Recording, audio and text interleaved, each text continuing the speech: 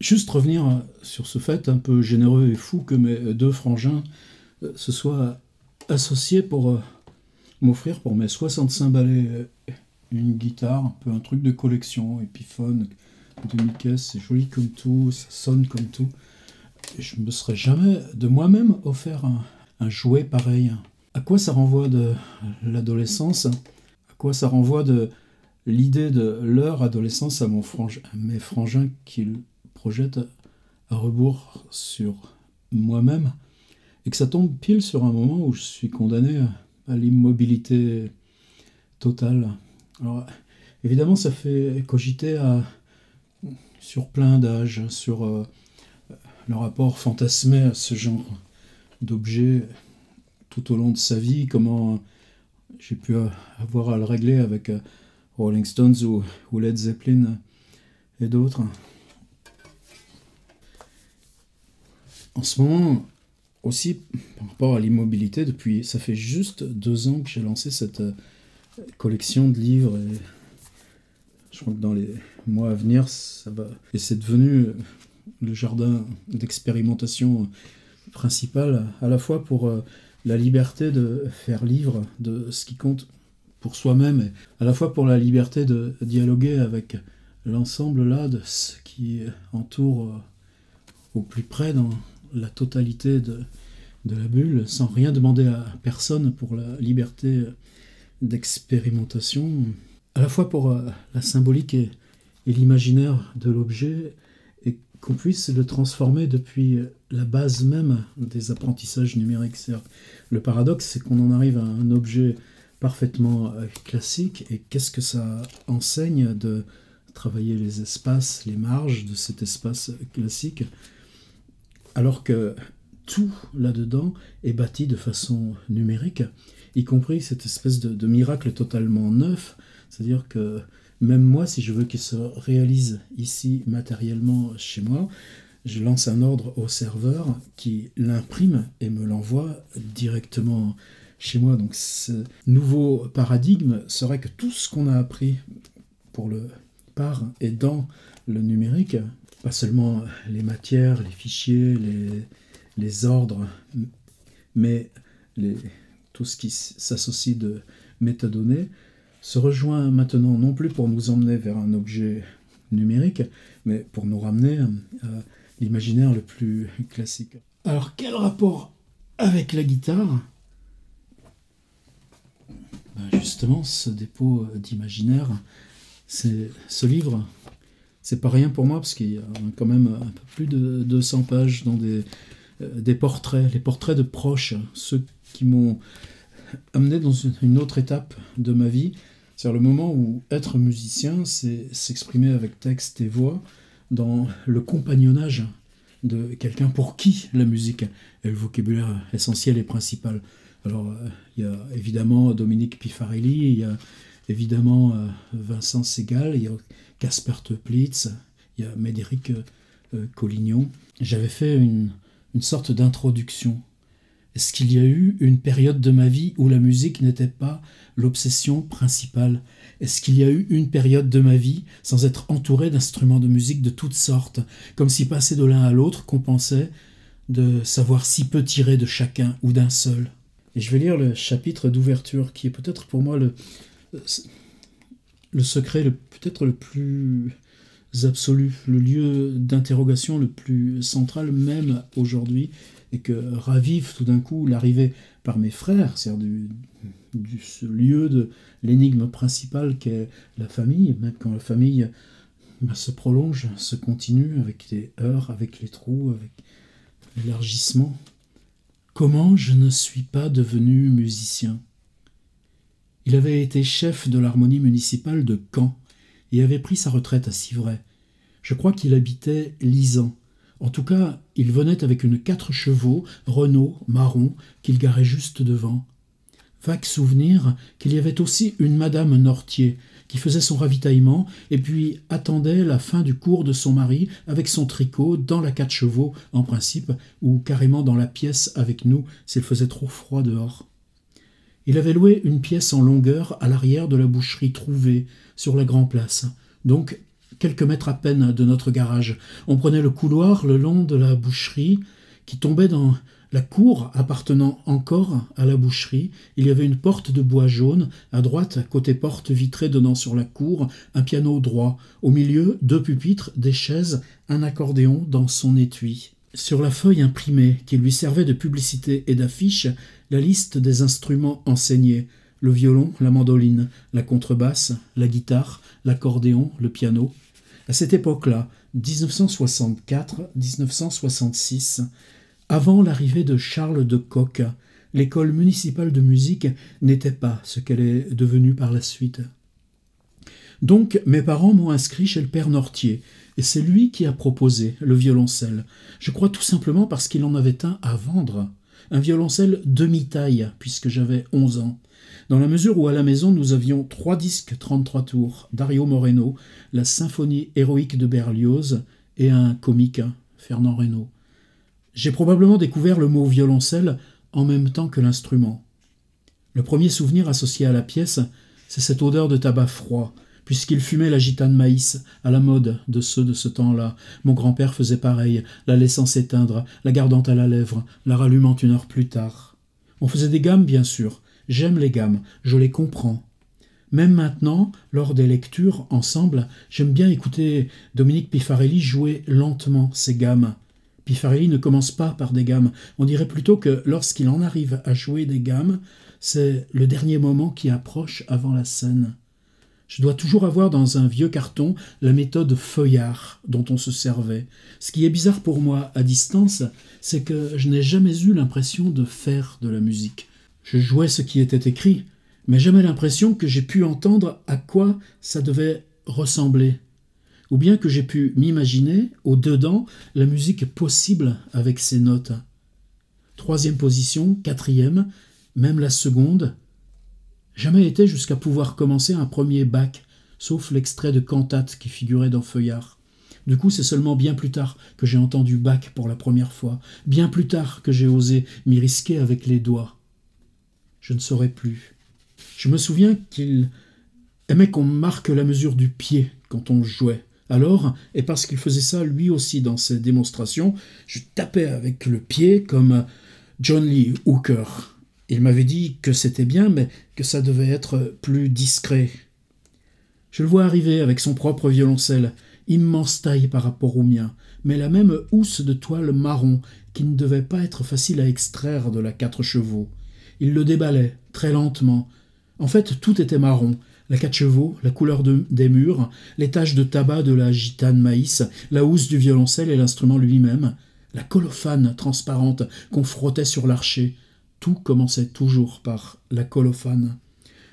Du coup, autre souvenir, chaque fois qu'il allait commencer un coup d'archer pour me montrer, même le plus simple, j'entends encore son bruit de respiration, aspirer, retenir le souffle, regarder au lointain, et l'immense bruit de caverne qui sortait de son violoncelle. J'aimais bien les moments où on jouait en duo, son grand violoncelle qui faisait tout un orchestre et les notes du mien qui faisaient semblant de ressembler à quelque chose. L'impression d'une grande machine qui avance, avec son pied qui battait la mesure et la gitane qui se redressait un peu chaque fois qu'il aspirait sur le premier temps de la mesure. Ça pour moi, ce grand bruit qui avance, c'était ça la musique.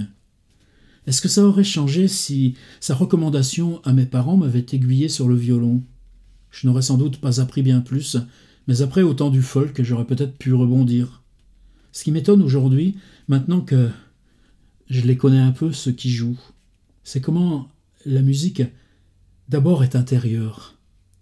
On s'imagine ce qu'on va jouer et on le joue, alors que je n'ai jamais été mené vers cet endroit-là, n'en ai même pas supposé l'existence.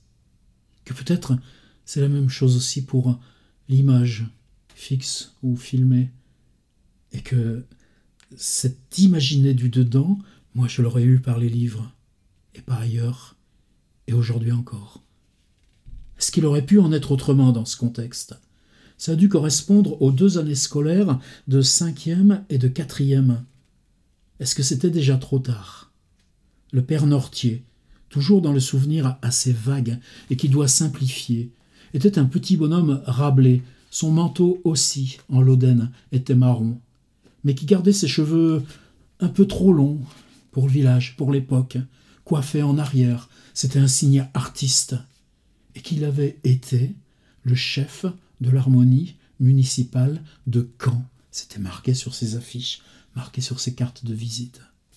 Nous étions, mon frère et moi, un seul instrument pour les deux, ses seuls élèves au violoncelle. Il en avait un peu plus pour la guitare classique. Petit tabouret sous le pied gauche, et la manière inclinée dont on tenait ça entre les jambes. Un trou dans le plancher pour le violoncelle de tous les élèves, le petit calpier réglable pour la guitare. À ce moment de l'écriture me revient aussi le bruit de son poêle à gaz. L'hiver, le chuintement du gaz, l'odeur du gaz, qui s'ajoute maintenant à celle du tabac froid et de l'odeur particulière de l'instrument dans sa housse avec la colophane. On entendait les voix des clients de la boucherie, qui lui soulouaient la pièce, une porte de verre condamnée, colmatée d'affiches, nous en séparait. Le père Nortier, René Nortier, est tombé malade. Madame Nortier nous donnait des nouvelles, parfois trois semaines sans cours, et on reprenait le même exercice, et puis deux mois, quatre mois sans cours, et on reprenait le même exercice. C'était 1965. Les plus âgés, ou bien les plus risqués parmi ceux du collège et du lycée, écoutaient Eddie Cochran, Jerry Lee Lewis, Little Richard, Chin Vincent. On prononce. Nous, on disait Gene Vincent, comme Eugène Vincent. Quand je faisais les 20 mètres qui séparaient le garage de la boucherie, je portais négligemment le violoncelle demi-taille, comme si c'était une guitare, pour pas qu'on s'aperçoive. Et j'apprenais la guitare comme les autres. C'est cette année-là, en troisième, que j'aurai cette première guitare achetée 130 francs chez le coiffeur Barré qui en tenait commerce, et que je remplacerai Feuillard par ce livre magique avec des accords figurés par des petits ronds bleus et rouges, où poser les doigts sur le manche. En troisième, j'aurai mon premier électrophone, pas bien gros, au son plutôt maigre, avec son petit haut-parleur dans le couvercle. On écoutait les Equals, on découvrait les Beatles, et puis vite, tout le reste. Les 45 tours des Rolling Stones arrivaient chez le marchand de machines à laver, de postes de télévision, chauveau, juste dans l'angle de la même place. La révolution, c'était le transistor. On écoutait la nuit, l'oreille posée directement sur le petit poste, les musiques qui nous arrivaient. J'ai racheté un violoncelle en 1976, que j'ai gardé jusqu'en 1988. Arvo Pärt, qui à Berlin occupait l'appartement du dessous, m'avait demandé dans l'escalier si c'est moi qui jouais du violoncelle. Après, j'ai plus osé le décrocher du mur, ce qu'il ne m'avait pourtant surtout pas demandé. J'ai toujours en tête ce son de caverne, lorsque le père Nortier lançait son archer après avoir inspiré d'un coup sec la gitane maïs penchée sur le coin gauche de la lèvre, ses cheveux blancs repoussés en arrière façon artiste. En général, au bout du morceau, répétant une phrase que j'ai dû lui entendre dire des dizaines, des centaines de fois. C'est un instrument de force, le violoncelle.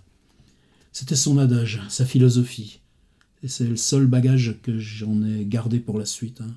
Je ne pensais pas à l'époque, surtout à voir comment mes copains Paillet ou Philippe Chandernagor avaient, eux, des guitares, et que moi j'affectais pourtant ce violoncelle demi-taille dans sa housse rugueuse, le même détachement que si c'eût été une six cordes, Bien souvent, c'est posé sur ma cuisse droite comme une guitare que je m'en servais, que j'aurais pour toute ma vie une telle fascination quasi unique pour lui, le violoncelle.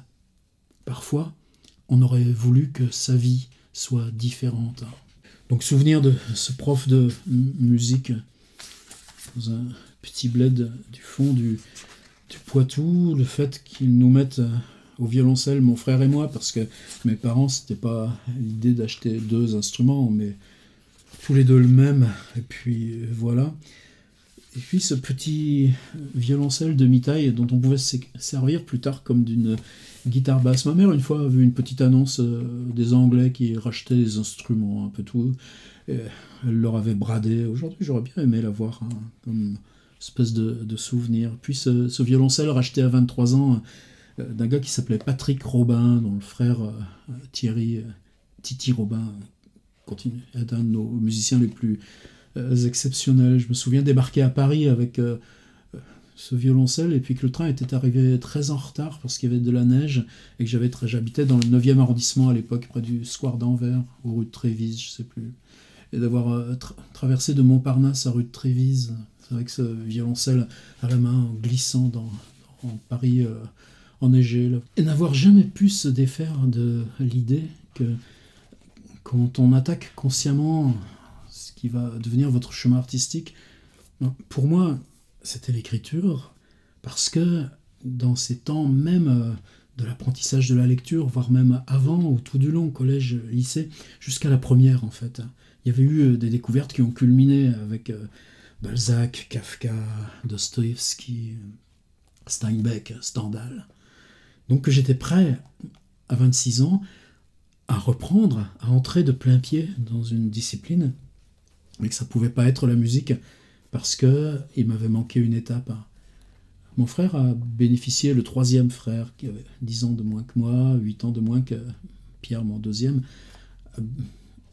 avec l'école de musique de Sivresse, musicien qui s'appelait Paul de Coq, a bénéficié d'une vraie éducation musicale. Est-ce que dans d'autres conditions d'éducation musicale, ça aurait bifurqué autrement pour moi? Ben, on reste toujours avec un manque vis-à-vis de soi-même. C'est ce manque qu'on peut travailler. Dans ce bouquin, j'ai rassemblé en gros des textes, qui, des textes complémentaires sur les Rolling Stones, rencontre avec Bill Wyman, euh, des, textes complémentaires sur, euh, sur, sur, Bob Dylan, des choses qui. ou sur les Sex Pistols, une espèce d'atelier euh, à côté de mon boulot sur, sur Led Zeppelin. Donc c'est, c'est un écrit qui, ouais, qui est important pour moi et aujourd'hui c'est plus qu'important de savoir que dans ce chemin où la, la bulle va devenir progressivement l'atelier principal, mais par ça, l'importance de la vidéo, ces livres aussi représentent un, un rouage de dialogue, de partage. La question euh, sur le père Nortier, comment je ne suis pas devenu musicien, elle, elle n'a pas de fin, forcément.